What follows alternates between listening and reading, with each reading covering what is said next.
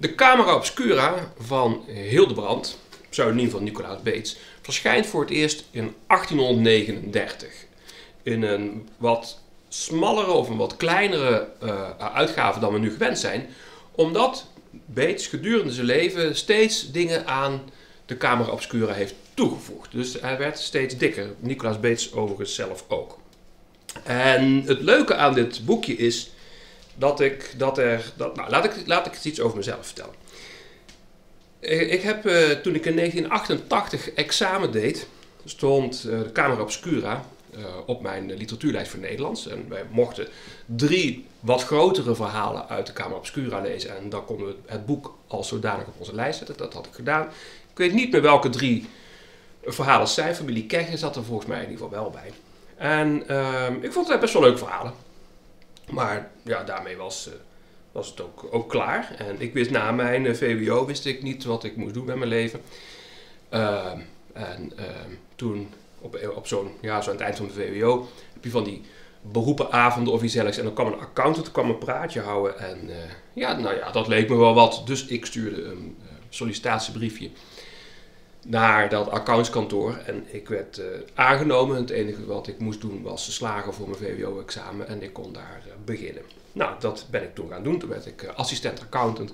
En daar vond ik geen zak aan. En dat werd mij vooral duidelijk toen ik op een gegeven moment was ik bij de V&D. Dat was toen een groot warenhuis.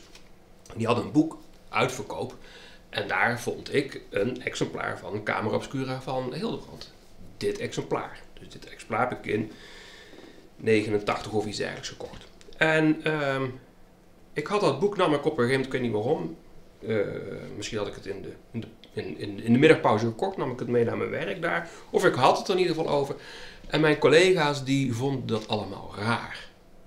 Dat, dat ik een boek las en dan nog wel zoiets ook. Ik denk dat dat voor, ja, nou, ze zullen misschien wel gekend hebben, want de meeste van mijn collega's die uh, hebben, uh, uh, hadden een HAVO of VWO-achtergrond, dus ze zullen allemaal gewoon Nederlands hebben gehad. En bij literatuurgeschiedenis zullen ze er wel over gehad hebben, zullen ze er wel les over hebben gehad. Dus, dus, en misschien sommigen ook wel op een lijst, maar zij vonden dat dus raar dat, dat, dat, dat ik dat deed. En toen dacht ik bij mezelf, ja, ik ben hier niet helemaal op mijn plaats.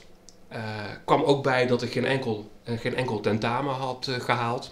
Um, behalve inleiding recht, maar allerlei uh, accountant tentamens en zo heb ik allemaal, had ik allemaal niet gehaald. Ook boekhouden 1, wat de, de, mijn, mijn jaargenoten met twee vingers in de neus haalden, daar had ik er diep onvoldoende voor. dus toen dacht ik, ja, misschien moet ik maar iets met, met boeken gaan doen. En ehm, ja, zo gezegd, zo gedaan. Toen ben ik me gaan oriënteren. Uiteindelijk ben ik, ben ik iets met boeken gaan doen. Uh, onder andere dit soort filmpjes maken. Um, en vandaar dat die camera obscura um, ja, betekent eigenlijk best wel veel voor me.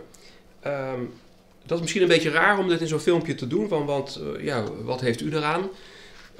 maar het is eigenlijk uh, een, een, boek dat mijn leven veranderd heeft.